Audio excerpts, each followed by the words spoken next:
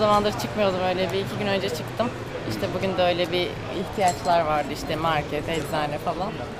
Öyle. Herhangi bir şeyiniz yok inşallah. Eczaneden çıktınız mı? Yok yok öyle genel e, alerji ilaçları, polenlerden kaçmalar falan öyle. Rıza Bey'le aranız nasıl? İyi, aynı. Ya dün e, ufak bir tatsızlık yaşadınız galiba. İçeride e, otururken birdenbire siz çıkıp gittiniz Nerede? Rıza Bey'le otururken. Ha yok, tatsızlıkla ilgisi yok yani. Yani, Benim sert bir işim tavırla vardı. çıktınız içeriden de ondan dolayı. E, yok o benim kendi telefon ettiğim biriyle ilgiliydi yani. Bizimle ilgili bir durum yok yani. Tamam, ilişkiniz iyi gidiyor inşallah. İyi gidiyor evet. Teşekkürler. Teşekkürler.